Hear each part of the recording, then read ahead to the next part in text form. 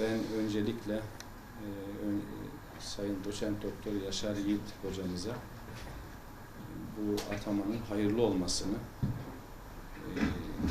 e, yerine gelecek olan Bünyamin Albayrak hocamıza da aynı şekilde hayırlı olmasını Cenab-ı Hak'tan niyaz ediyorum. Muvaffakiyetler diliyoruz. Hayırlı olsun. Allah mübarek Allah razı olsun hocam.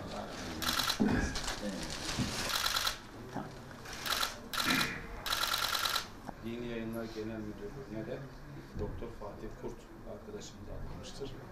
Hayırlı olmasını Cenab-ı Hak'tan niyaz ediyorum.